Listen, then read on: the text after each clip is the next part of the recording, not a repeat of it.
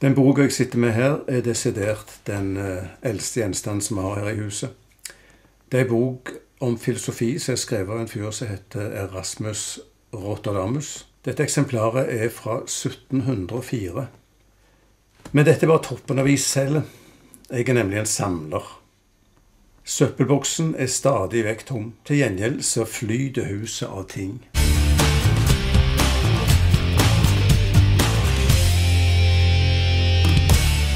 La oss se litt på loftet først. Vi begynner der.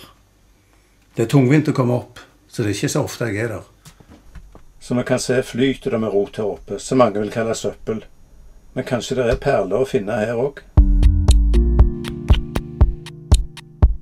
Her er to perler i alle fall. Den bilen og heisekranen lagde far til meg på 1950-tallet. Kjekke å leke med da, og veldig kjekke å ha som minner i dag. Mareritt eller paradis? Tja, det kommer an på øynene som ser det, tenker jeg. Her i stua står det en del leker som har vært i familien i flere generasjoner. Noe av det stammer antageligvis fra slutten av 1800-tallet.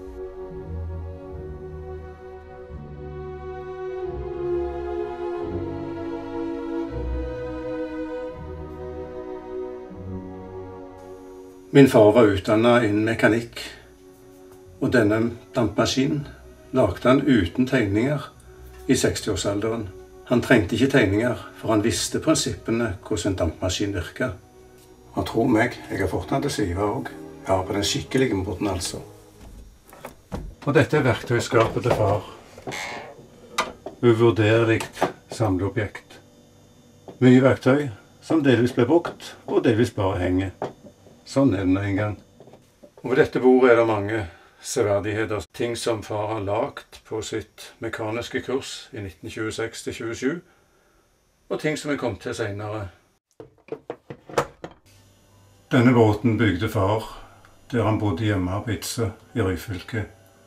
Der lodde han sammen stålplater og hadde overbygning som dessverre datt av en gang når min bror og jeg lekte med han. Men sånn så han ut I ei tid da bilder, ord og musikk er blitt så flyktig, og verden er blitt så digital, så er denne koblingen mellom fysiske gjenstander, mellom fortid og nåtid, nyttig. Så Sånn sett så føler jeg at jeg bidrar litt med denne koblingen, denne fysiske koblingen mellom fortid og nåtid.